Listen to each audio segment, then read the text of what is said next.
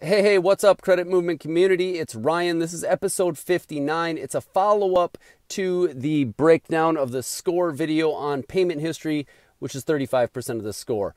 It's the most important section, obviously, paying your bills on time. Let's say you don't pay your bills on time, you make a mistake, you have a one off 30 day late. Send that creditor what's called a goodwill letter. I can email you guys a copy of it if you private message me your email address. Um, that goodwill letter you send to the creditor, it just basically states that, hey, I've paid you guys on time for X amount of months. I made a mistake. I'm asking for a one time courtesy removal. If you have collection accounts that are unpaid, you guys remember, always get a letter of deletion. Request a letter of deletion um, prior to paying it. Make sure they followed the Fair Debt Collection Practices Act and sent the appropriate dunning letter and so forth that I've covered in previous videos.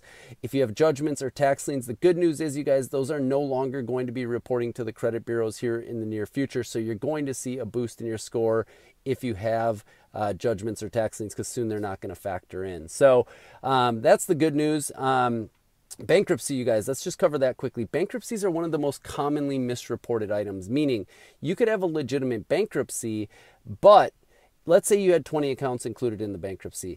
Oftentimes on the credit report, they'll show five of the accounts as included and the other 15 show as active charge off or collection accounts.